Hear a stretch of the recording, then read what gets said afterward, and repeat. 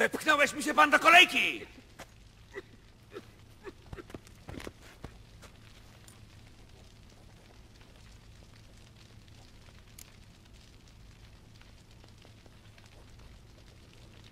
Nigdzie się nie wepchnąłem. Stałem tu od początku.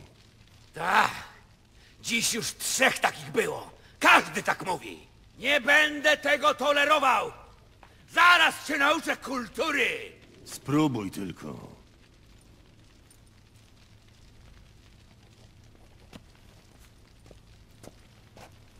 Hola, panowie!